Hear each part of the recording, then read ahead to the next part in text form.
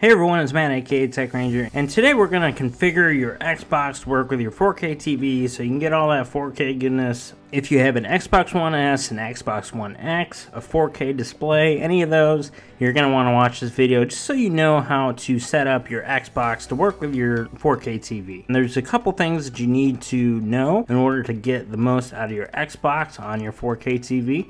So if that's something you're interested in, then stick around. If you want to learn more about 4K TVs in general or just kind of an introduction to 4K, I do have a video on that. And then I also have a video on the TV that I currently own. That So first things first, you're going to want to open your settings. And if you don't know how to do that, easy way to do it, just hit your guide button, go all the way to the right to where the gear icon is, and then look down in the menu and you'll see settings. Click on that.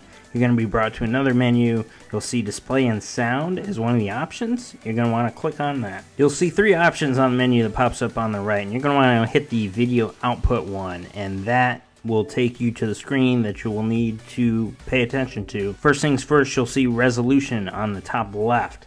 You're going to hit that drop down menu. If you have a 4K display active, you will see 4K UHD there and you will need to hit that. As I recorded this video, I did it on a 1080p capture card, so I'm not going to see that option because I was actually recording this off of my monitor. Pardon my amateur footage, but I'm going to show you that on my actual 4K TVs just so you guys can get an idea what it looks like. Next, you're going to want to click on video modes in the middle, and this is going to be the screen where you kind of need to just check all the boxes. Everything that your TV can do will have a box here that you can check and that'll range from HDR, Dolby Vision, 50 hertz, which is more of like a European thing, so if you're not overseas in Europe or like the Asia Pacific region, that probably won't really need to worry about that, but you might as well just check the box anyway. And this is just kind of just to make sure that your Xbox can do everything that your TV can do. See if you have a TV like mine and you're not really fond of the HDR or the Dolby Vision or it doesn't do it well, you can just leave that unchecked and your Xbox will just do SDR, which is standard dynamic range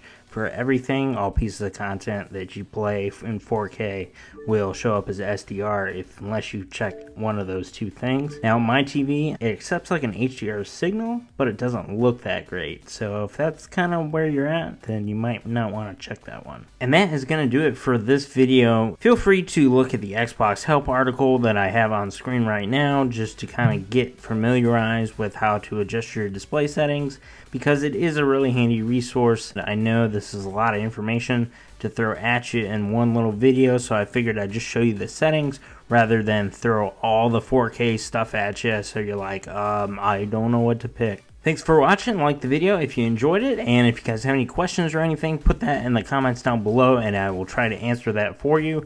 And don't forget, we are going to have two videos this week, depending on when you're watching this. I'm trying to do the two videos a week schedule for a little bit and we'll see how that works out. But thanks so much for watching, guys. Catch you in the next one. Bye.